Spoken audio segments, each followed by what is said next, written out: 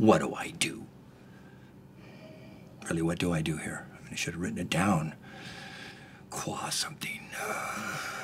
Qua, quar, quad, qual, quar, quabity, quabity ashwins.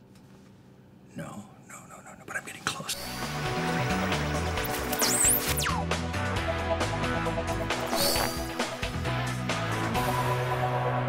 Welcome to ASQ TV. For World Quality Month, we're taking a look at some starring roles quality's had in mainstream entertainment, like on the US TV show The Office, where the character Creed Bratton can't remember his job title of Quality Assurance Officer. Quality touches nearly all aspects of society, and it's not surprising to see it pop up in pop culture. Whether it's been satirized for its seemingly complicated tools and methods, or indirectly referenced for how it improves our lives. Sometimes, the hardest part of a career in quality is simply explaining what it is you do. In the US TV sitcom That 70s Show, the character Michael Kelso interviews his father for a school career day report and struggles to understand what he does for a living. Okay, let's get started. Question number one What's your job? I'm Senior Executive Statistical Analysis Technician. You're a senior executive what? Well, in, in plain English, I concatenate diverse statistical information to maximize the potential utilization of data. So, you give people data. You know, a lot of people think that. No. My job's not about output, it's about throughput.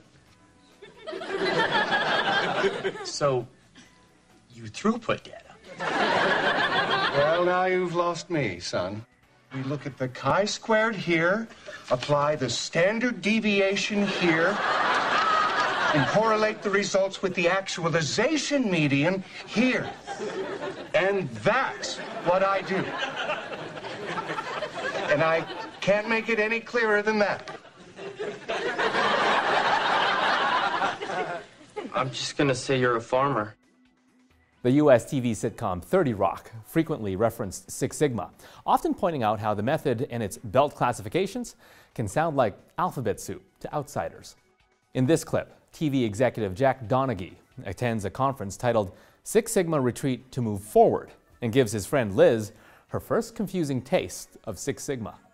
The Six Sigmas themselves. They're dudes? Each of them embodies a pillar of the Six Sigma business philosophy teamwork, insight, brutality, male enhancement, handshakefulness, and play hard. Hi, I'm Liz. I'm Prashant. This is Joan. We're M7s. What level are you? Oh no, I'm just here with my friend. Or I was. So you're like a G or an H? No, I'm not part of this. I'm not any letter.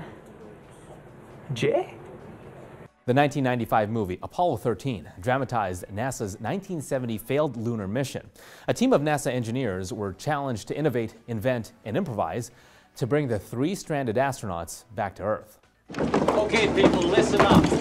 People upstairs handed us this one, and we gotta come through. We gotta find a way to make this fit into the hole for this using nothing but that. Let's get it organized. Okay, okay, let's build a filter. Seinfeld, the long running U.S. comedy from the 1990s, took a page from one quality related topic to get laughs. In one episode, George Costanza pulls out all the stops to avoid reading about the quality concept of risk management, which he falsely listed as a credential on his resume. Abby, I was once like you. Wide eyed, naive. I didn't know the first thing about a subject as fundamental as uh, risk management.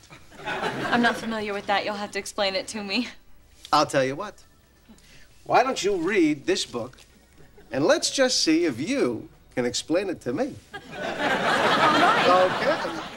Read about references in songs, books, and movies in November's issue of QP at qualityprogress.com, where you'll find links to more great clips like these. And don't forget about World Quality Month in November. Visit the website at the link below. There you'll find all you need to plan and promote the celebration, like an event planning guide, a toolkit, and posters. The site is also home to videos, case studies, quality success stories, and a calendar for World Quality Month. And while you're there, be sure to cast your vote in the hashtag Quality 2030 social media contest. Well, that's it for now. See you next time as we explore strategic thinking and business skills. Did you know that the ASQ Video Library has an educational resource of more than 500 videos? The videos are organized by special channels with topics relevant to our industry today, like the Quality Tools channel, which focuses on foundations and building blocks of any process improvement project, or the Auditing channel, which touches on processes for conducting a successful audit. With these specialty channels, it's easy to drive your professional development plan or share relevant industry updates with your colleagues.